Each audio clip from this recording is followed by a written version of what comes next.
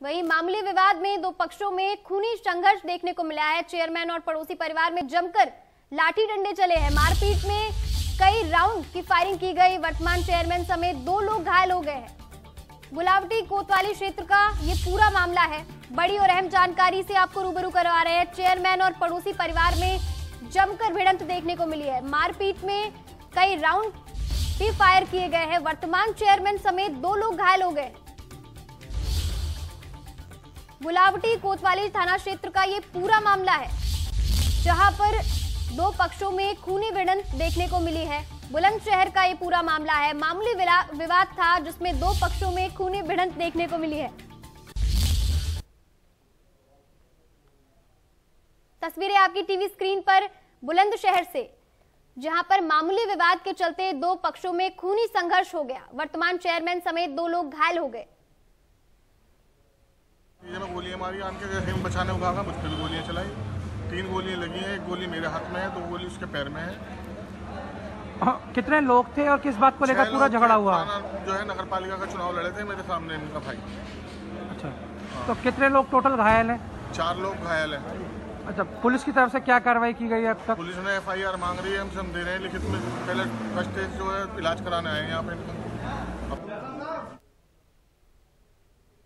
वहीं तमाम जानकारी के लिए हमारे साथ हमारे संवाददाता पुनीत जुड़ चुके हैं। पुनीत, बुलंदशहर से जो मामला सामने आया है, मामूली विवाद बताया जा रहा था। ऐसे में इतनी बड़ी घटना कैसे हो गई? किस तरीके से फायरिंग का मामला भी सामने जुड़ गया उसमें? क्या कुछ पूरी वारदात है? क्या कुछ ये पूरी घटना है?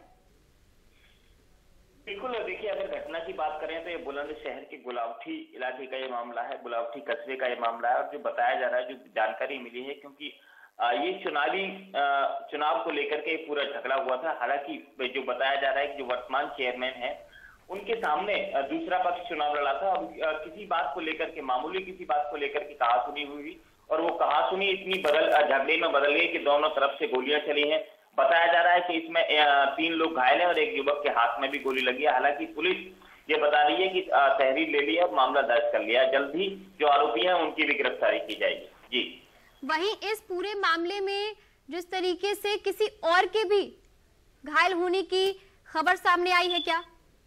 देखिए मैंने बताया था कि इस पूरे मामले को लेकर के चार लोग घायल हुए हैं, जिसमें एक युवक को गोली लगी और तीन लोग जो है वो मामूली रूप से घायल हुए हैं, जिनको जो है उपचार के दौरान घर भेज दिया गया है। हालाँकि जिसको गोली लगी है, अभी ये बता रहे हैं कि उसको हायर मेडिकल सेंटर रेफर कर दिया है, लेकिन फ़िलहाल उसकी जो हालत है वो चिंताजनक नहीं है। जी।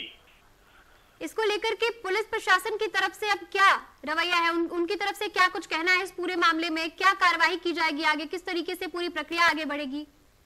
देखिए पुलिस के जो आला अधिकारी हैं उनसे हमारी बात हुई है जो वहाँ की सीओ हैं उनसे बात हुई है। उनका साफ़ ये कहना है कि हमने मामला दर्ज कर लिया है क्योंकि तहरीर हमको मिल गई है और जल्द ही जो आरोपी हैं उनकी गिरफ्तारी करेंगे। दो टीमें बना दी हैं जल्दी गिरफ्तारी की वो बात कह रही है।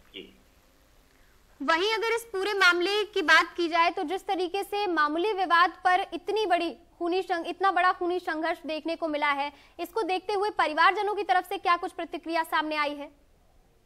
देखिए परिवारजनों का साफ़ ये कहना है कि आ, क्योंकि दोनों इलेक्शन आमने सामने लड़े थे तो कहीं ना कहीं चुनावी रंजिश वो पहले से ही इस बात को लेकर के मानते हैं कि वो चुनाव जीत गए और हम चुनाव हार गए थे। हालाँकि ये बताया जा रहा है कि पुलिस जो है ये कह रही है कि ये गनीमत रही कि जल्दी पुलिस पहुँच गई, नहीं घटना बड़ी हो सकती थी क्योंकि फायरिंग हुई है, पथराव हुआ है। और ये बताया जा रहा है कि जो आरोपी हैं, उनको भी पुलिस जल्दी गिरफ़्तार करने की बात कर रही है, क्योंकि फिर ऐसी घटना की पुनरावृत्ति ना हो। जी।